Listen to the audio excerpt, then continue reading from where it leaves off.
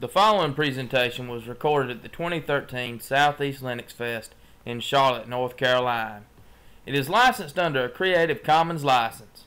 For more information about the Southeast Linux Fest, visit www.southeastlinuxfest.org. The Southeast Linux Fest would like to thank the following diamond sponsors in 2013 for helping make these videos possible.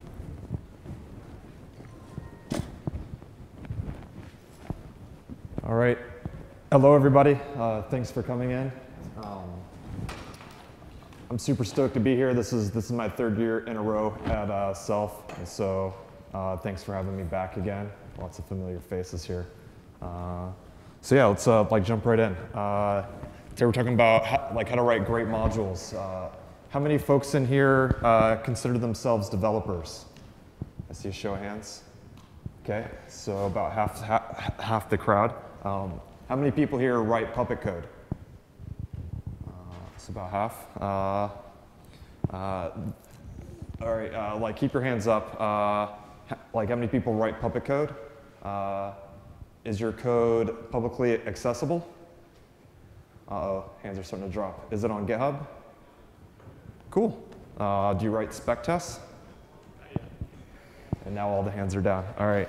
So probably no continuous integration then. Uh, yeah. So, uh, like my experience with uh, with Puppet, uh, I've been I've been using Linux. It's 15 years now. Uh, Puppet since 2007. Uh, I wrote a bunch of like Puppet code in order to automate building out a VoIP platform uh, so I had a lot of kit that I put in different cities, and we didn't have any configuration management. I was like, how am I going to get this done? My uh, time frame keeps like moving in and not out, and uh, we keep getting more requirements. So uh, I started using Puppet, and away I went. Uh, fast forward a few years, I started working for Puppet Labs uh, as a professional services engineer, now consulting on my own. Cool. So the litmus test for writing uh, good code is uh, can someone else use your code without modification, right? If, if you have to edit the code to use it, it's not good code.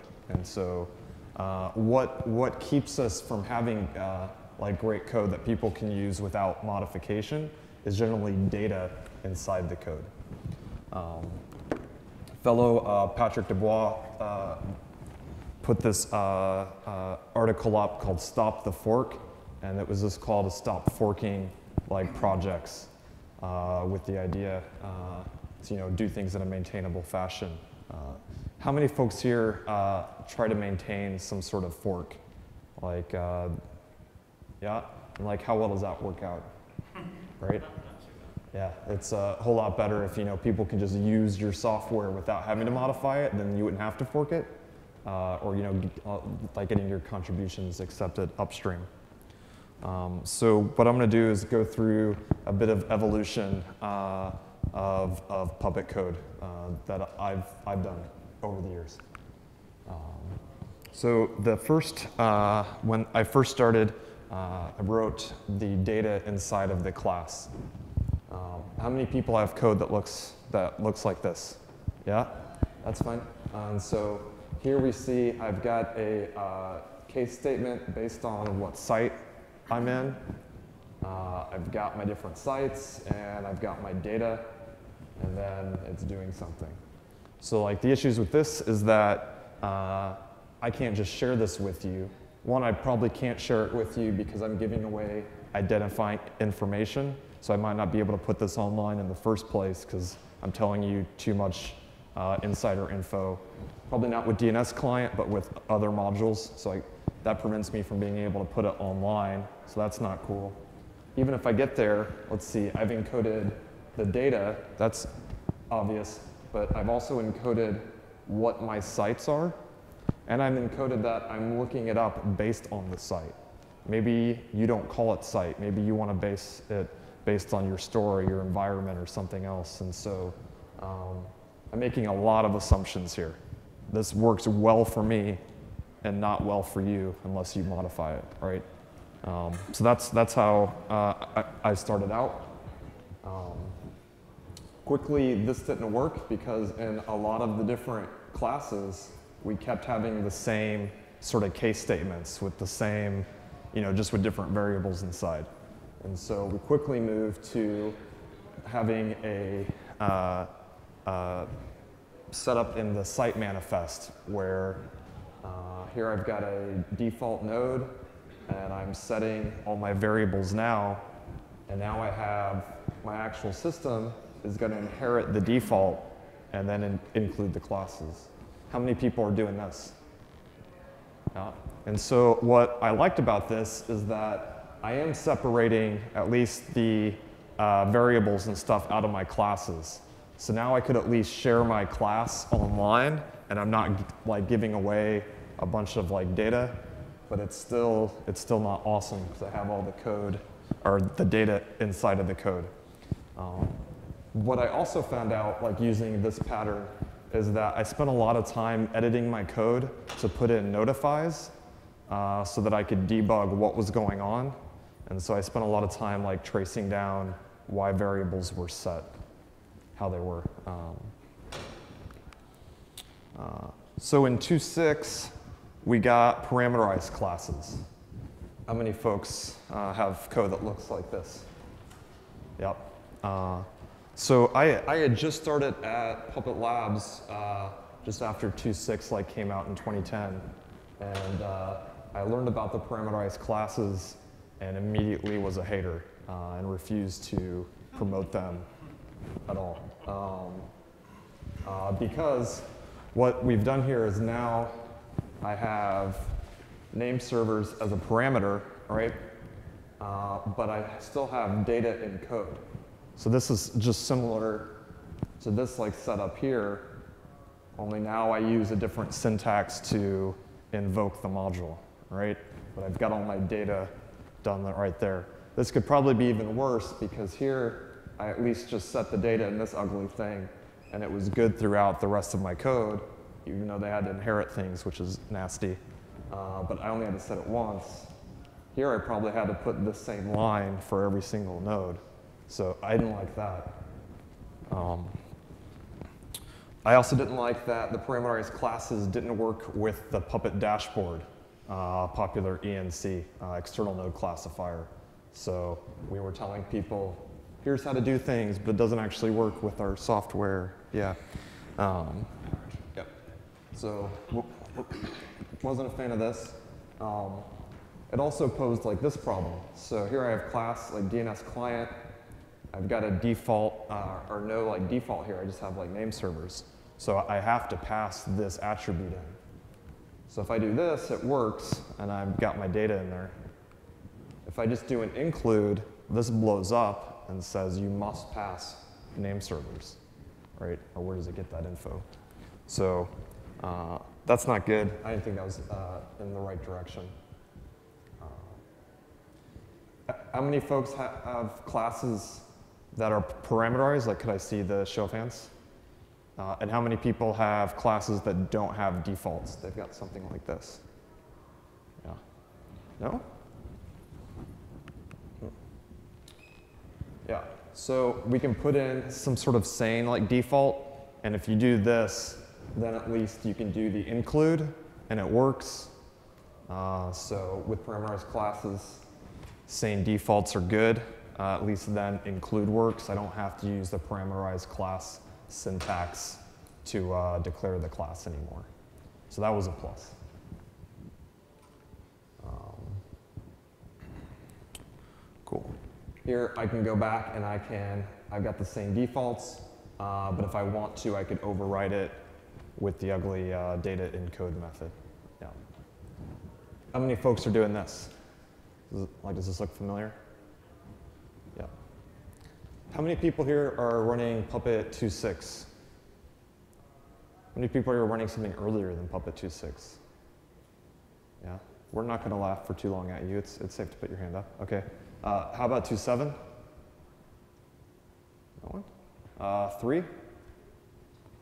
Okay. Uh, right on. Uh, like, did anyone here use an uh, ENC, external node classifier? Yeah. And so how external node classifiers work, their, their purpose is to be able to query some other source of truth.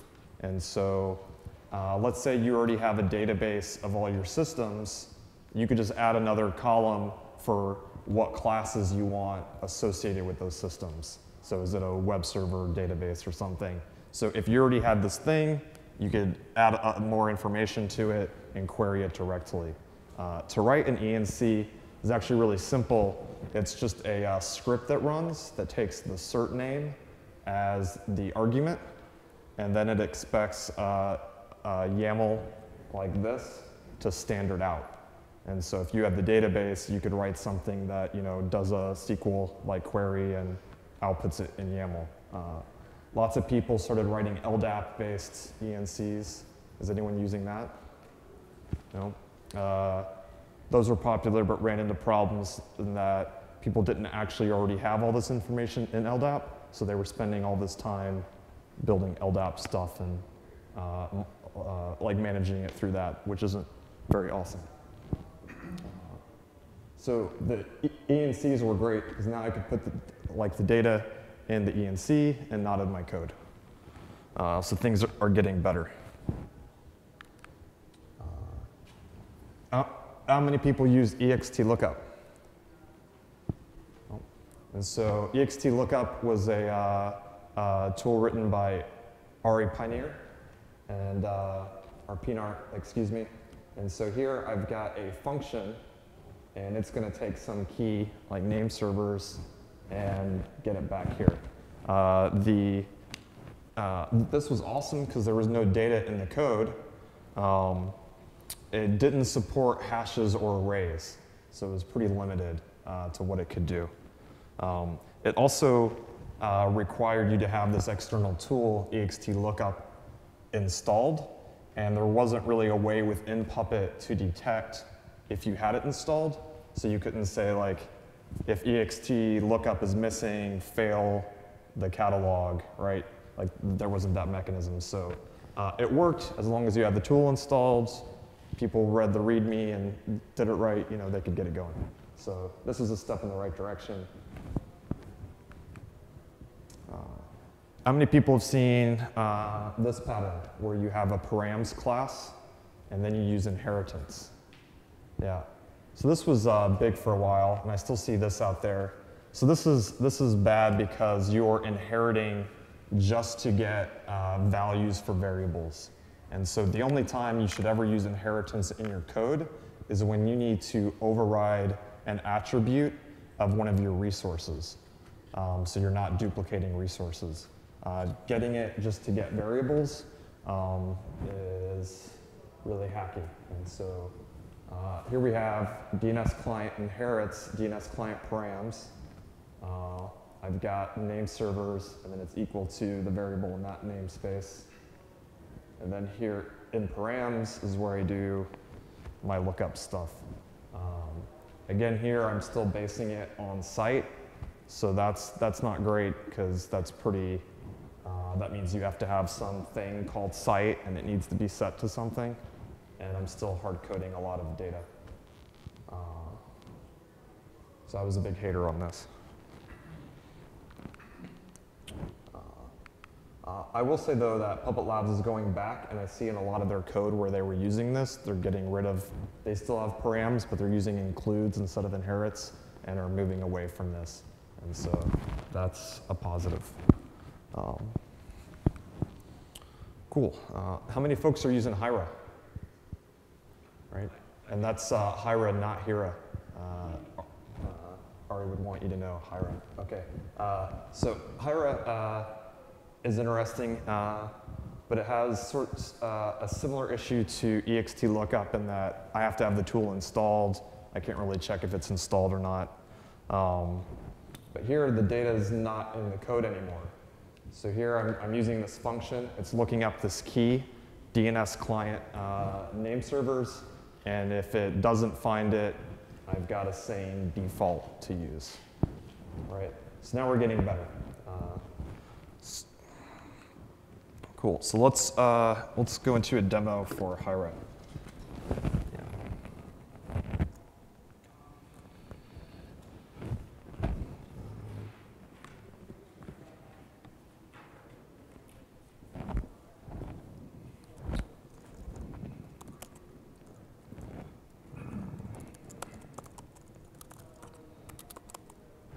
right, is that is that large enough for people to read? I realize you can't read where it's blue, but uh, uh, cool. So what what Hiera allows you to do is look up uh, these variables, uh, but it allows you to do it in a hierarchical like like nature.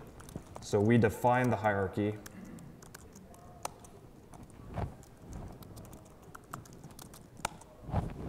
uh, here. And so it has a pluggable backend, so people use JSON, YAML, Redis, MySQL, LDAP, all sorts of things. Um, I'm using just the default YAML because it's, it's easy to work with. Um, and so here I'm specifying a hierarchy to look up keys. And so I start with the most specific thing to look up, which for me is the FQDN, so on a uh, host basis. Uh, then I'm going to environment, like dev, production, QA, that sort of thing. Um, I'm defining something else in my hierarchy called site now. And so this is up to you how you define this. And so here I, I define site. So now I don't have site in my code. I have it here. And I can use site because that's what I like to use. But maybe you call it pop or you call it store or that doesn't apply to you, right? So you have different things that you key off of. These, these variables come from Facter, like by the way. And then I have the, the least specific thing, like common. What this allows me to do is say, uh, in different data centers, I want to use different name servers, different LDAP servers. You know, uh, uh, based on whether you're in dev or production, I want to change passwords uh, for the database, right? So then uh, devs don't have to know the production one. Um, this lets me set root passwords whether at a global level or I can override it and say, well, if you're in dev, it's this. Or if you're in dev and you're in this site, it's, it's this. Or for these specific hosts, it's this, right? And so if, if the key isn't found here, it just goes to the next one, goes to the next one, goes to the next one until it finds the key. Yeah. Uh, what, this, what this gives me is the power to really have a data-driven infrastructure. And so uh, I can keep my data here, not in the code, which is good because now we can share code. Uh, the data's not there. And I get this data-driven approach. And so I can download and use code, not fork it, and I just put in the data, uh, like what name servers to use, what time servers I use, you know, where to uh, like talk to things. Uh, so let's take a look at this. We can use Hiera from the command line. And so I've got some files already in here, different things. Uh, each of these has a key in there called test. So if I look, um, I see it's got a key called test, and I just put the value equal to the name of the file, so it's apparent where it's like coming from.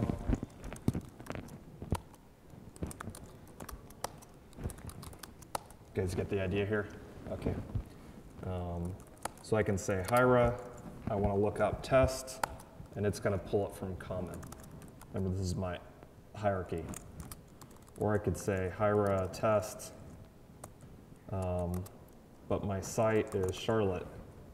And so now it's going to pull data from here. And so maybe I have different, you know, different servers that I access when I'm in Charlotte compared to when I'm in Atlanta, right? Because I want to keep traffic local. Or I have different passwords or things like that.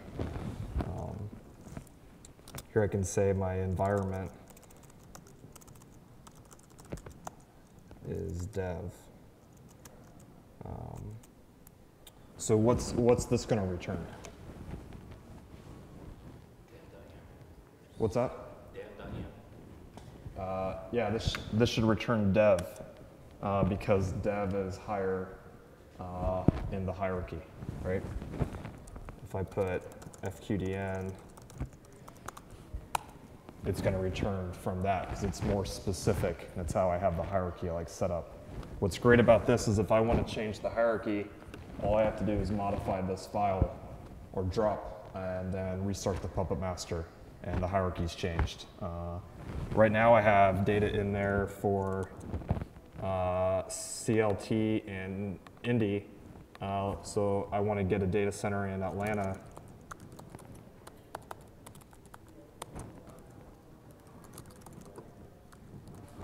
you know, I can uh, create a new file, put my data in there, and then, you know, now I'm pulling data from there, right? And so it makes it really incredibly easy to work with. Uh, I can give access to this, like maybe to different groups. So if you're in dev, maybe you have access to the dev.yaml, and you can change all the things you want there, but you don't have access to the rest. Uh, this is great also for exposing uh, tunables for your site. And so maybe you're running Apache or Tomcat or something, uh, and you've templated out your configuration settings. And so I can make all of those variables accessible here. And so a dev who might not, you know, understand Puppet or like where to go to edit the config files or, you know, how you're supposed to edit the config files because they're making their eyes bleed looking at XML for Tomcat or something. And so they could look at this like YAML file you know, tweak the numbers, and then uh, that's how the system is going to look. So it makes it really data driven in that aspect. Um, like any questions about Hiera? Or what I'm covering so far? Okay.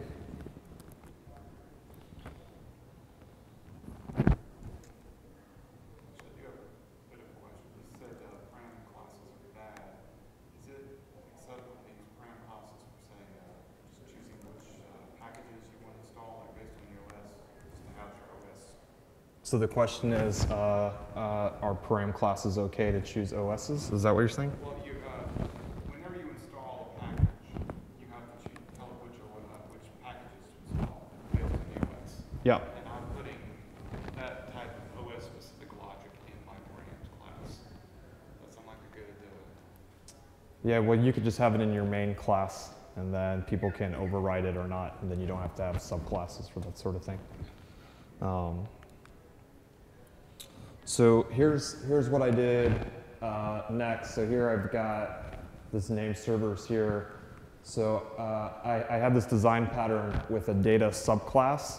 So this is similar to the param subclass, but I'm not using inheritance. And so here I have include DNS client data. Uh, and DNS client data is where I make the Hiera call. Uh, and then here I'm setting name servers uh, to this to the, the, name servers variable from this uh, class. And so I'm bringing it into the local scope. Uh, the reason I did that is so I didn't have to modify the templates. Um, if you didn't do that, then in your template, you'd have to modify it and use scope.lookup var so that I could actually find where your variable was. Um, this seemed a little bit better, but it still had the issues of uh, you know, they had to have Hiera installed. Um, uh, this was a little kludgy uh, here because now, you know, why not just reference it directly, right? Um, so then uh, Puppet version 3 came out, and so uh, now I'm back to parameterized classes. And so here I've got a, my class that's parameterized, but I've got a sane default, which is important um, because this allows me to just do include, and I don't have to use the parameterized class like syntax. I can just say in include.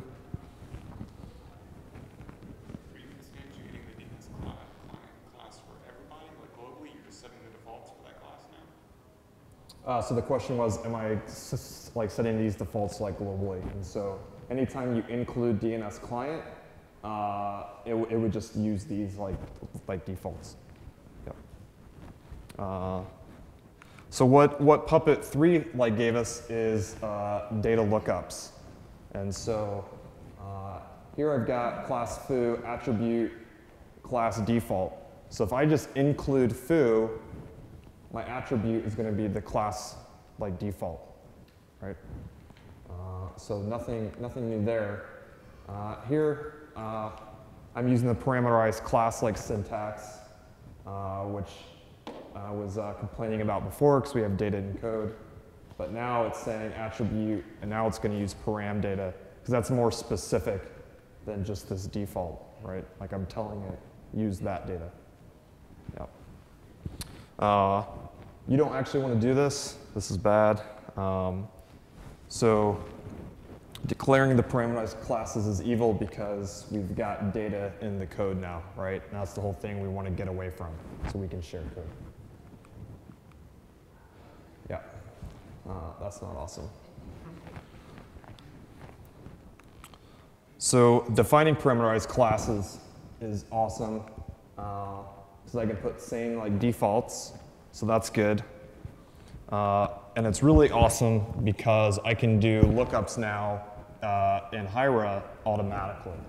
And so the way that works is I put my class, colon, colon, and then my attribute, and I put this as a key somewhere in the hierarchy. And so now Hiera is going to look for this uh, and return it. If it doesn't find it, then it would just use the uh, defaults for, like for my class. And so I'm able to write code that looks like this. You can just include it and use it. Uh, if you don't want your root password to be Puppet, then you just set this key in Hiera. But it's up to you where you set the key. Remember, like when we started with DNS client, I, I, I, was, I had a case statement based on the site like that I was in, because that worked for me. But you don't care about site. Like you want to base it uh, based on what environment you're in, or what store you're at, or some other uh, key. So none of that's in here. I, I don't say where you're getting the data from. It's up to you to define the hierarchy. It's up to you to define where do I want to look for things. You know, like where do I make that decision? And you just put that in there somewhere. So this could be at the FQDN level that you're setting the password. It could be at the common level. It could be based on your store. It could be based on any number of things.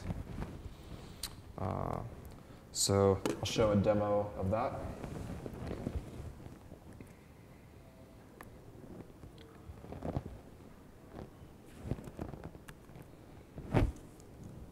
Cool. So this is my uh, DNS client uh, class. Um, and so this, this module I wrote in order to showcase how to write a good module. Like we all know what etc resolve conf is for. Uh, we all need to manage it on our systems probably. And so I, I, I chose it because it's simple. There's only one resource, a file. It's very well documented uh, what like what it supports, and there's only a few options that you can like put in there. And so I wanted to choose something seemingly very simple that everyone used to sort of showcase how to how to write a good module. So it's a, a good resource to look at uh, online to you know uh, like check out. And so here we see I've got data that you would expect, name servers, options, search path, domain, sort list. Um, I have other things that you might not think about as Bing data. So I've got the path to etc resolve conf. Because um, I'm managing the contents of this file, but I don't really care where it's at. I mean, I do, like I want to etc resolve conf, but it could be somewhere else. And so that's, that's, that's data. Uh, it should probably be a file in root root 0644, but maybe you want it to be something else. Again, to me, that's, that's data, just like what the name servers are, is data. And so I want to abstract all that out so that if you wanted it somewhere else and you wanted it in a different mode or group or something, you could change all of this via Hiera and never have to touch the code. And that's, that's, that's the goal, is to give you flexibility so that you can use it without having to fork it. Um, so if I just include this class as it is, I'll get uh, my name server set here, I'll get options, rotate and timeout one, and it'll put it etc resolve root root 0644. And so let's see an example of that. Um,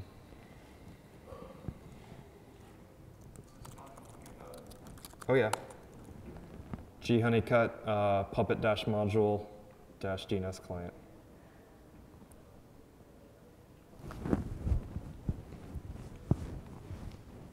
So yeah, the joys here of uh, running a few VMs on my poor laptop. We'll see what this comes out with. I've already included the DNS client uh, or associated with this node via an include. Uh, so just, it should just get the defaults. There we go.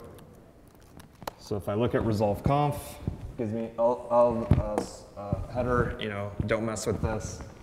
Uh, and we get the data that you would expect, right? Um,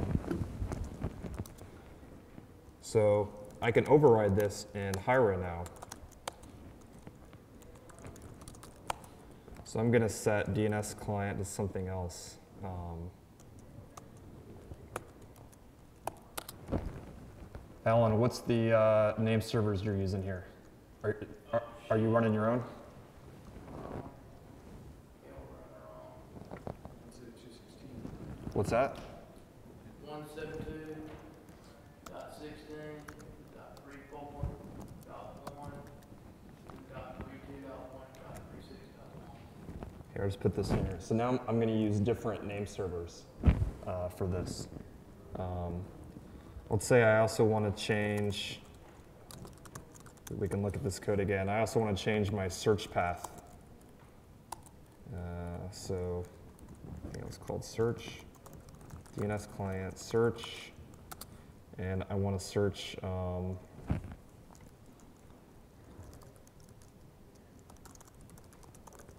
uh, here. Okay, so I didn't have to modify my code. I just put this in Hi-Rest like somewhere. Now we'll run the Puppet agent again.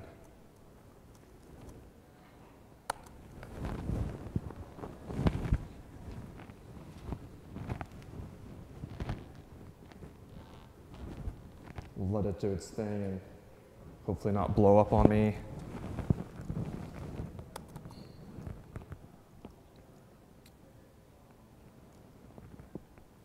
Cool.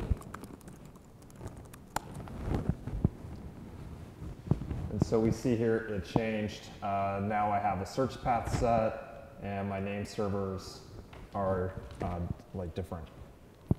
Yeah. So that shows how I was able to put things in Hiera um, and I didn't have to modify the code. Um,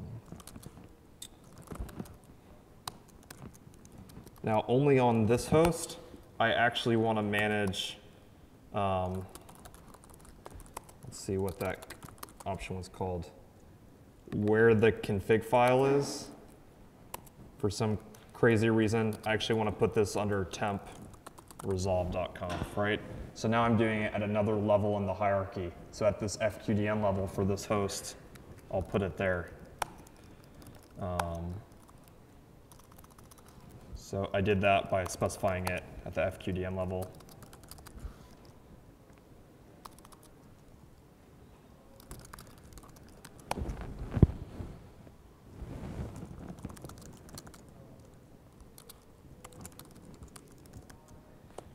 Cat temp resolve conf. That's where we put it.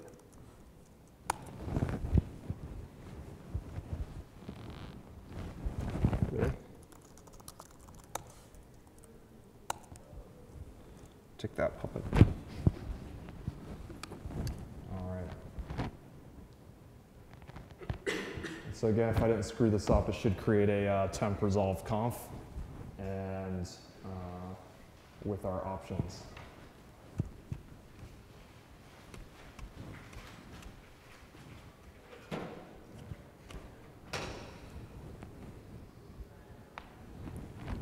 Cool. So here we see the temp resolve conf, and so it's it's it's taking the option of where to put it from the FQDN level, but then as it goes down in the hierarchy, as it searches for these other variables like search and name server, it's pulling them from common, so they can get pulled from different levels of the of the hierarchy. Not not all of your values have to be you know in each one, right?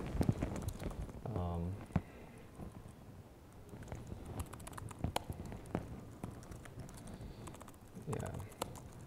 Just, someone's topic. How would you, like, if you, if you get your name service through the, uh, or the DHCP, how would you deal with that even though the, the comp is managed by Puppet? so the question was, if you got your name through DHCP, how would you like deal with that? Um, this current implementation doesn't touch that, so you would need to set where your name servers were. Does Facter hand, hand that to you so you can pull those in somehow? Yes, the question was, does Facter hand that to you? So yeah, you could get information from Facter and put that in the hierarchy or something. Yep.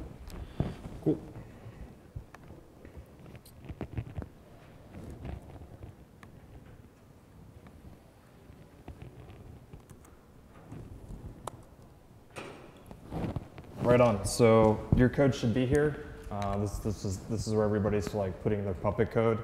Uh, so you should be there as well. It'll make it a lot easier for you to contribute uh, to the other modules and work work with improving things if you're in the same spot. Um, when you create your module, uh, you should give it the name Puppet dash module your name, like Puppet module DNS client, as opposed to Puppet dash DNS client. Um, so this is sort of the, the, the naming standard for, for that. When you go and create your uh, repository on GitHub, um, you're going to want to generally seed it with a README and uh, a git ignore. Just select Ruby. and one of your first commits is probably going to be to add uh, to ignore this uh, Puppet stuff so it doesn't get uh, committed to your repository. Uh, like, how many folks are using uh, Git? Yeah. Cool.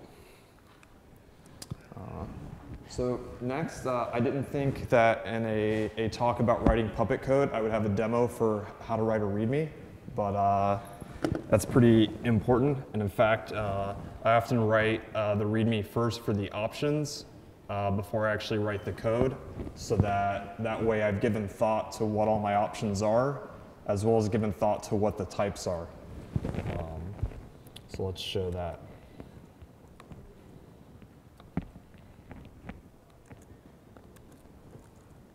Um, actually, let's just show that in a web browser.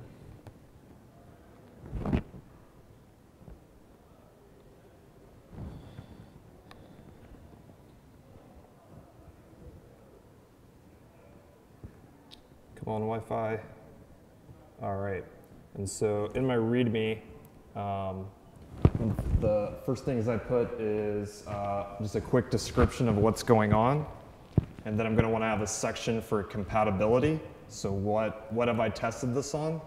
Uh, so I'm going to have a list of that. That way people can easily look at it and see, you know, is, is this supported for me or not?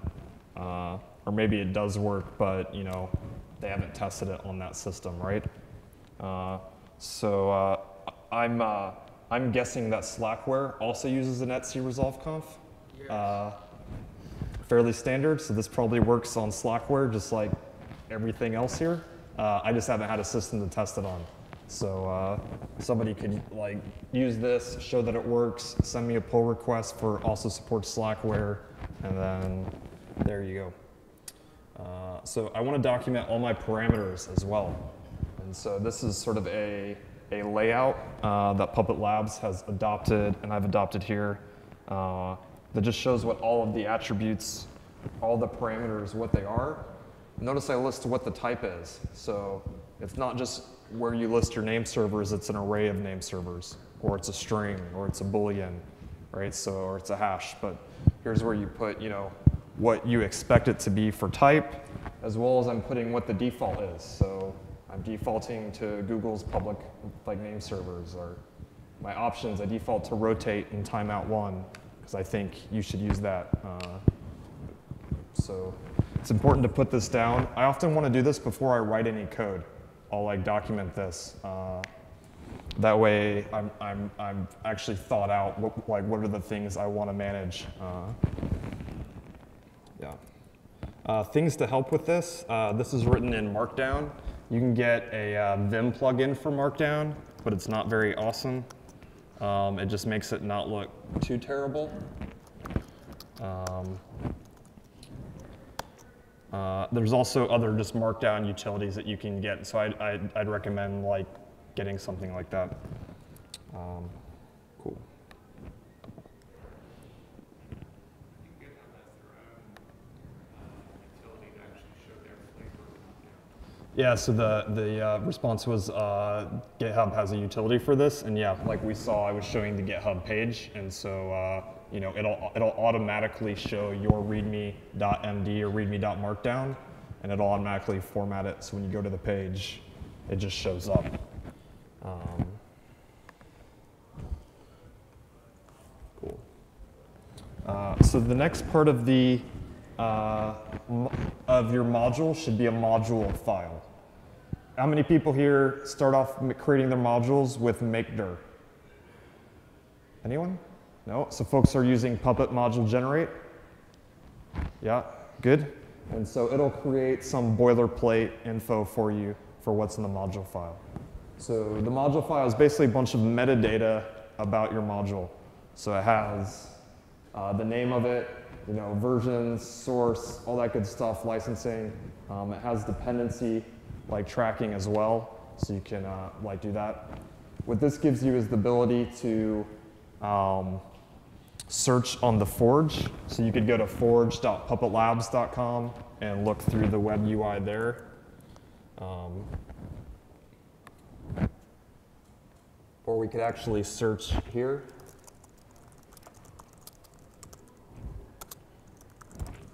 So look for my rsync module.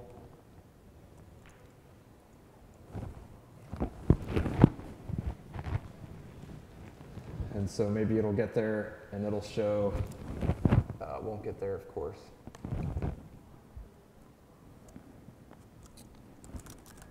Uh, and it won't get there because uh, I blew up my resolver. All right, but you could search online there. Um, yeah, for your code as well as install it. And so by having the dependencies, it's able to actually uh, install those as well. Um, the versioning here, like notice I got 3.03. I think it's 3.04. I think I, I, pushed another fix, I think this morning in someone else's talk. Um, and it's, it's using semantic versioning. How many people here are using semantic versioning for their uh, Puppet code? Yeah? How many people are using semantic versioning somewhere else? Who's never heard of semantic versioning before? Okay. Uh, have you ever had this issue where you have, uh, you're looking at versions and it's different, like between projects, right? So this place has like like 0.9 forever, uh, and they keep putting like letters after it. Or this project has, you know, 1.2.3.4.5, and this project just has like uh, get like hashes. Um, so like, what does that stuff mean? And so Semver is a standard uh, for versioning. Uh, you can go to semver.org. It's like a two-page read. It's, it's super short. Uh, I'll just break down what's going on here. So this first number is the major number. And when you increment the major number, you can break backwards compatibility. So this is where you can break the API. Uh, you know, things change here. Uh, the next number is the feature release. So if you add a new feature, you bump that number. And the third digit is for bug fixes only, right? And so I can look at this code, and if something starts with a zero, like it's, it's before the 1.2.3, uh, uh, then it's, it's, it's beta level code, right? Like it hasn't hit the first uh, level where, you know, uh, it's like usable. Uh, so you can look at these and easily understand what's going on. If it goes from version three to version four, it could very likely break things, and I like I need to really test it. What this allows me to do is things like this. So I'm dependent on version 3.2.x because that actually means something and isn't just some number some guy like came up with. This is like a promise. This is only bug fixes. So I'll get any bug fix in here. I'll be dependent on that version. If I wanted to live a little more on the edge and I also want feature releases as well, I could have just put 3.x, and then I, would have got th- uh, feature releases in that branch as well. No. Yeah. Who here is using Puppet Lint? Has anyone read the uh, Puppet Lab style guide? Excellent. Uh, so uh, the Puppet Lab style guide talks about a lot of really exciting things like two like uh, two spaced uh, indentations and no hard tabs or trailing white space. It's a riveting read that I'm uh, glad that I got to contribute to. Uh, I'm glad I got to contribute to it, but it's pretty boring. It does give you, though, more than just how to handle tabs and white spaces and things like this. It tells you how to handle, you know, having defaults for case statements uh, and, and a bit more into the code. So it, it is worthwhile to read. Uh, I worked hard to have it versioned, and so uh, for you, you can say, I adhere to version whatever of the Puppet Lab style guide. And that way, people that you're writing code with have an understanding that, you know, we're going to adhere to this. Uh, uh, each of the sections is numbered, so you can also say we adhere to version 1.2.3 of the Puppet Lab style guide, except for section 10.1.5 because they're crazy and we do it this way, right? But then at least people that you work with, they know what's going on and everyone is together on what's acceptable like for the code. Um, so what Puppet Lint does is it enforces style. It's not, uh, it's not validating syntax, that's Puppet parser validate. It's just uh, like vetting style. So let's take a look at that.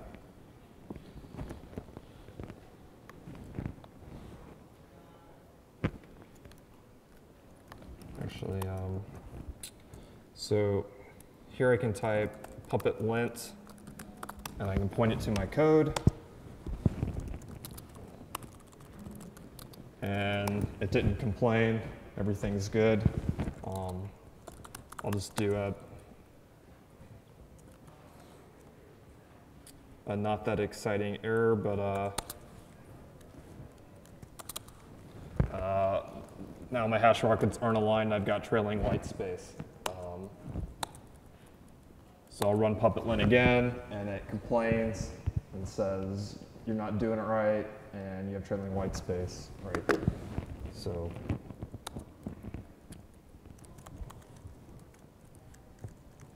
Go fix that up so it stops complaining. All right, I could also type rake lint, uh, which gives me all sorts of issues with this. Um, if you're using uh, uh, Puppet Lint, I highly recommend creating a dot Puppet Lint RC, and you can tell it to ignore certain things. So there's a problem with the Puppet Lab style guide in that someone got in there that no line should be longer than 80 characters. Uh, which I can, I, I, I can sort of see where they're coming from with that in a uh, coding standard, but the Puppet language doesn't have a line delimiter. Like you can't put like, you know, a slash at the end and go to the next, like, like you can't break a line. So telling people you can't have a line longer than this isn't, isn't really valid. And so I'd recommend creating a, a Puppet lint RC and putting no 80 chars check in there uh, so it doesn't complain about that. Uh, this is the, the, type of tool that you want to have in your uh, pre-commit hook for version control. And that way, uh, you also want a pre-commit hook for Puppet parser validate, like validate the code actually can parse. Uh, it's easy enough to write bad code, like don't accept code that doesn't parse. Uh, and then you can also run Puppet lint over it as well to make sure it's adhering to your standards. Cool. Uh, so next is uh, uh, spec test. How many folks, again, were writing spec tests? All right, so we're going to get changed on that. Um, so first thing for writing spec tests, you have to have a little scaffolding in place. So you'll want to just grab a .gem file. You can just grab it from my repo or somewhere. Um, and then you also need a fixtures. Um, and the fixtures uh, provide some scaffolding for rake spec. And so I'm telling it first it needs to create a symlink so it can find the module I'm working on. And then I have dependencies. I depend on Puppet Lab standard lib 3.2.0. And so I'm telling it, here's where you can get that code, and specifically, here's what version to get of it. And so you'll need those files, and then you'll need the spec, uh, spec helper, which tells you to use Puppet Labs spec helper. You have to install that. It's a gem, and it's just Puppet Labs spec helper. Um, yeah. All right, so now I can type rake spec, and it's going to download and check that stuff out. And I get a bunch of little green dots, which is really what you want. If you screw up, you get capital red Fs. Um, yeah.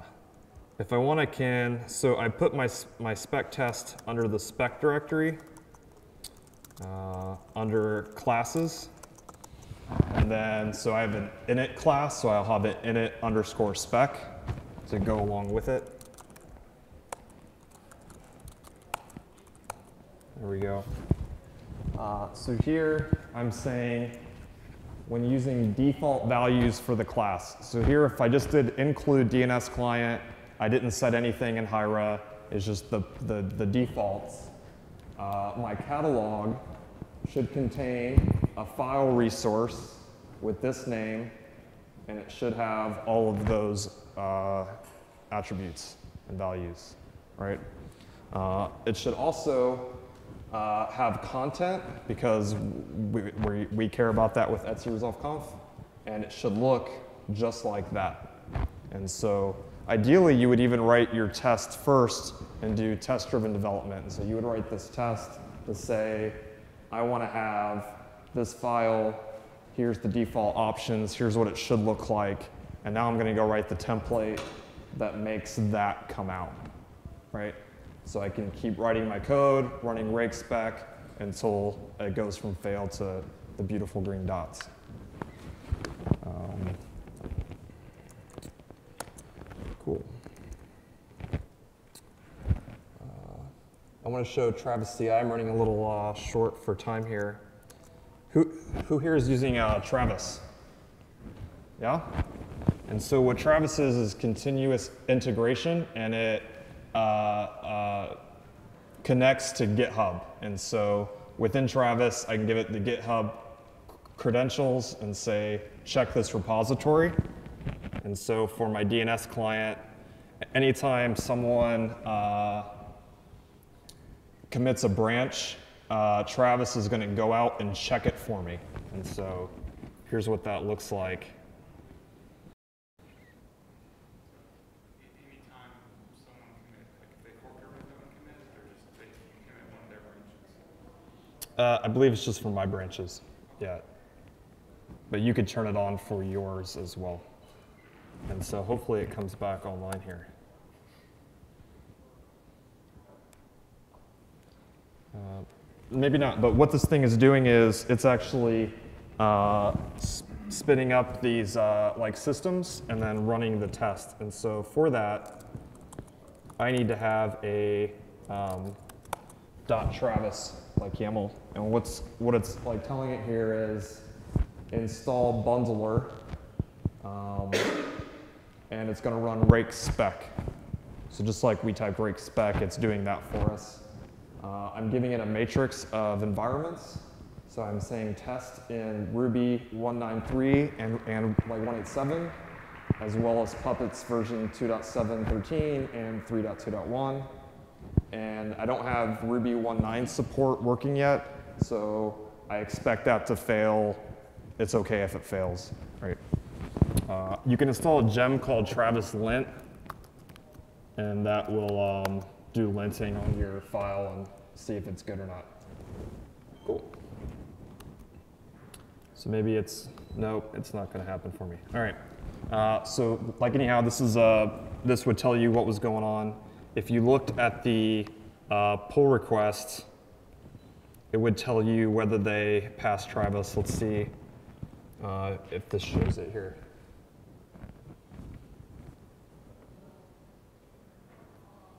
Uh, maybe. anyhow, it's a bit slow, but what's, what, like what happens is when someone sends me a pull request, Travis has gone and it's building uh, the system to see if that passes or not. And so before I merge the pull request, it actually turns green and says, this passed like Travis, or it, or it like didn't, right? And so if it didn't pass Travis, I'm probably not gonna merge your pull request, right? And so it allows me to feel more confident in accepting change because now I have spec tests. So now I'm getting uh, quicker feedback if things break, right? And that's, that's really important. Think the network's done. Okay. So I wanted to talk uh, a lot about the common module, but it looks like I'm about out of time and I want to have a few minutes for questions. Uh, so I'm just going to plug it in that uh, you should check out my Puppet module common on GitHub. Um, it sets up a lot of uh, common things like NTP, Vim, DNS client. A lot of it's written for enterprise Linux, and so uh, I, I need your help to port it to other things like Slackware and Ubuntu uh, and SUSE and Solaris. Um, and I would uh, uh, appreciate that. So I think we're about done. I'm gonna have to skip deploying modules. Um, I just want to open it up for questions because I only have a few minutes here.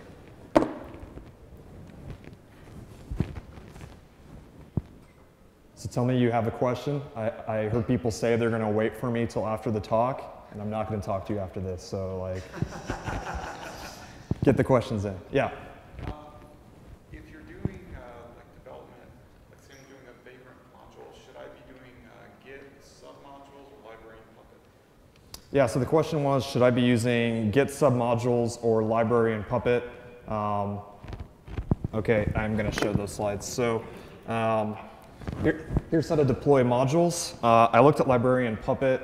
Uh, Tim Sharpe writes awesome software, uh, but it doesn't look like it's being actively maintained. There's a lot of uh, uh, pull requests that are like sitting there and issues. And so I looked and uh, Dan Bode wrote Puppet Librarian Simple, which doesn't try to do any of the dependency checks. It just, you give it the Git references and it just downloads it all. And so it works with a, a Puppet file. And a Puppet file, here I'm telling it um, where to get the code. This is going to assume the master branch. Here I'm giving it a reference. This is a tag. I'm saying get it specifically 3.2.0.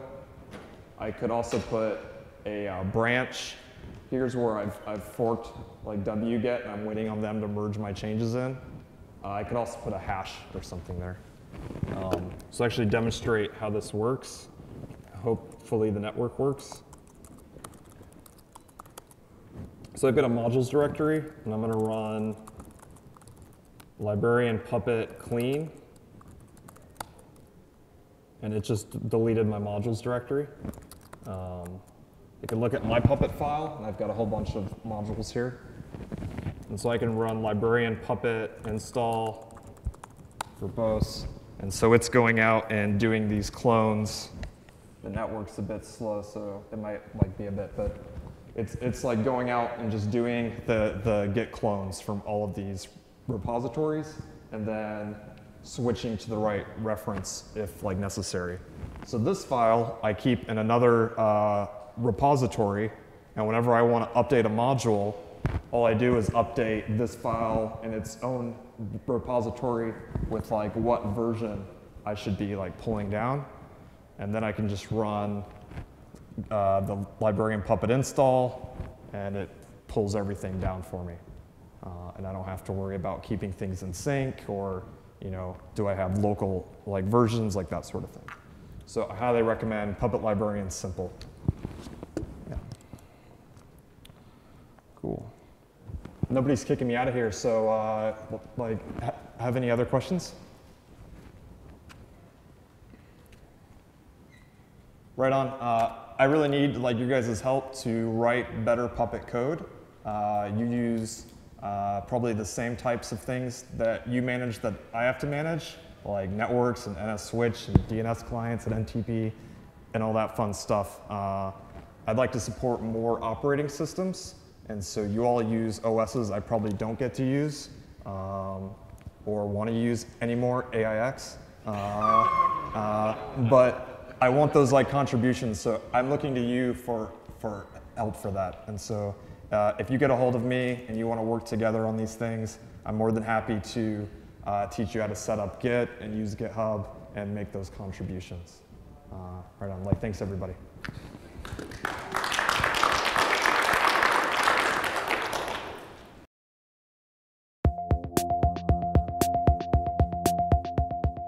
When we created Asterisk over a decade ago, we could not have imagined that Asterisk would not only become the most widely adopted open source communication software on the planet, but that it would impact the entire industry in the way that it has. Today, Asterisk has found its way into more than 170 countries and virtually every Fortune 1000 company. The success of Asterisk has enabled a transition of power from the hands of the traditional proprietary phone vendors into the hands of the users and administrators of phone systems. Using this power, our customers have created all sorts of business-changing applications, from small office phone systems to mission-critical call centers to international carrier networks. In fact, there's even an entire country whose communications infrastructure runs on Asterisk. Digium has always been about creating technology that expands communications capabilities in ways we could never have imagined. And that's part of what's game-changing about Digium. Today, we're doing it again, this time by introducing a new family of HDIP phones that extends control of the user all the way to the desktop. The launch of these new products represents the next phase in Digium's history of innovation. These are the first and only IP phones designed to fully leverage the power of Asterisk. When we first discussed our expectations for building a family of phones for use with Asterisk, our requirements were pretty simple. We asked the team to build the phones such that they were easy to install, integrate, provision, and use. I think you'll soon agree our engineers have delivered on that goal. User feedback is validating that when it comes to operation with Asterisk-based systems, including our own SwitchVox-based product, these are the easiest to use, best integrated, most interoperable products on the market today. The Digium family of phones will initially include three IP desk phones, uniquely designed to complement any Asterisk or SwitchVox-based solution. These phones are different for a number of reasons. First, they're exclusively designed for use with Asterisk. Secondly, we've made it really easy to auto-discover and provision the phones. Next, we've made it easy for the phones to access information inside of Asterisk, allowing tight coupling between an application and the phone. Additionally, we've created an applications engine that allows users and developers to create and run their own apps on the phone. And finally, we've done all of this at a very compelling price point. At Digium, we're always thinking of ways to give our customers the best value in business phone systems and also give them the power to create their own solutions for any communications challenge. We'll continue to push the boundaries, not only to make Asterisk cooler, faster, and more technologically feature-rich, but to make Asterisk and VoIP communications even easier. And together, we'll change the way the world communicates. Again.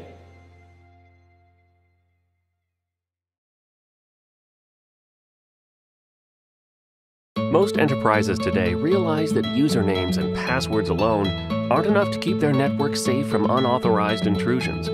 That's why two factor authentication has gotten so popular lately. It adds that extra layer of protection enterprise networks need to stay safe. But what you may not know is that some two factor authentication solutions they're better than others, like two-factor strong authentication with WiKID. WiKID goes beyond other authentication systems by being less expensive, easier to implement, and easier to use, giving you software-based token clients built to run on all major devices and OSs, including iOS and Android. These tokens utilize a public-private key combination that's generated on device, so there aren't any shared secrets flying around for attackers to hijack or which require any special handling. Instead, all keys are kept secure and private between the requesting token and your server, which you control in-house, making it the most secure way possible to perform authentication encryption. And with an extensive, flexible API and support for protocols like LDAP and Radius, WiKID works with any enterprise network architecture to protect the IT systems vital to your enterprise.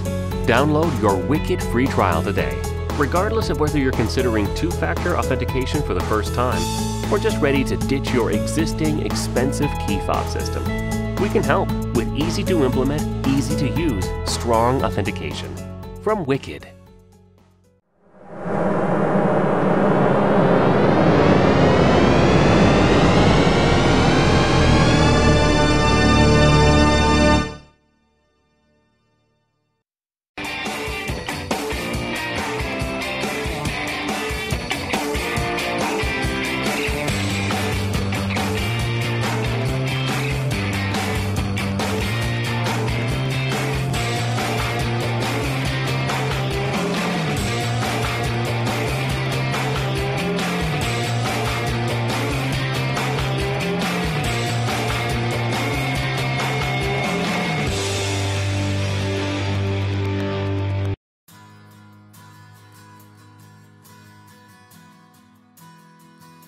Cloud stacks are everywhere.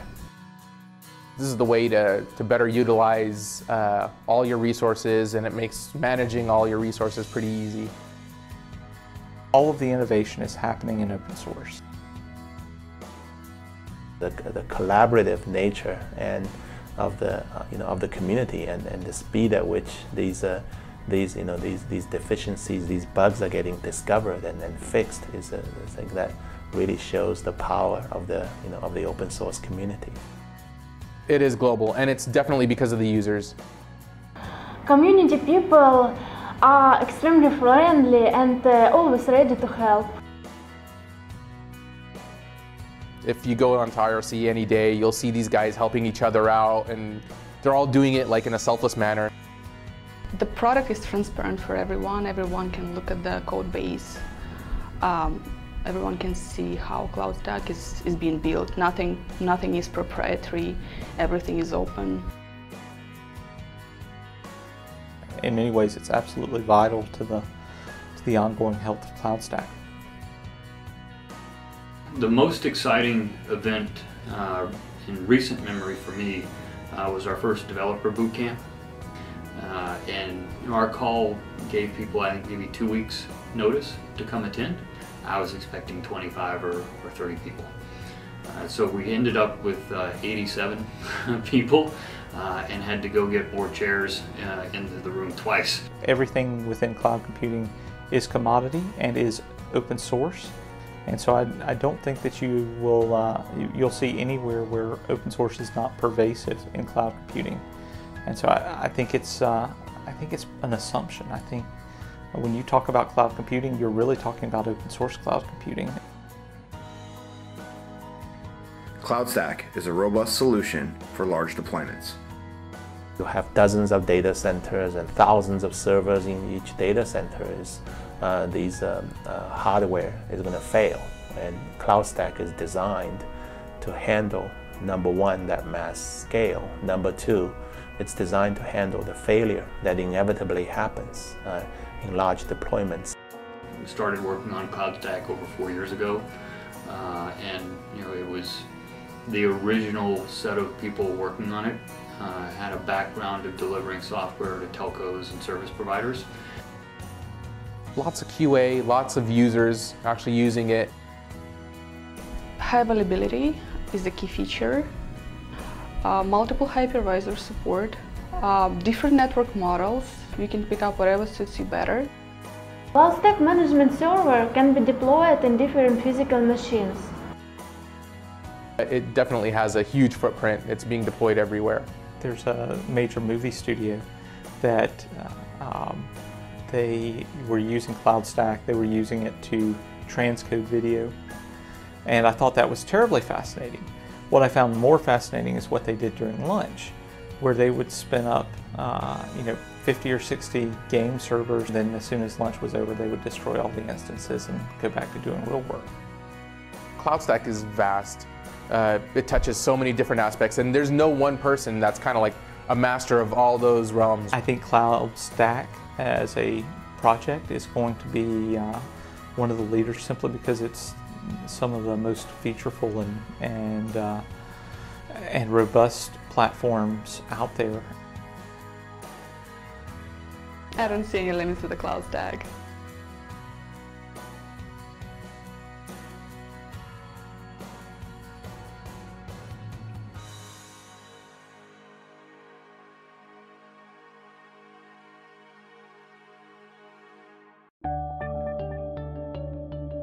Your customers rely on your website or application. If it's slow or non responsive, it infuriates your users and costs you money.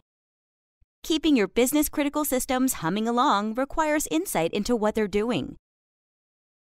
Your system metrics tell stories, stories that can reveal performance bottlenecks, resource limitations, and other problems. But how do you keep an eye on all of your system's performance metrics in real time and record this data for later analysis? Enter Longview, the new way to see what's really going on under the hood. The Longview dashboard lets you visualize the status of all your systems, providing you with a bird's eye view of your entire fleet. You can sort by CPU, memory, swap, processes load, and network usage. Click a specific system to access its individual dashboard, then click and drag to zoom in on choke points and get more detail.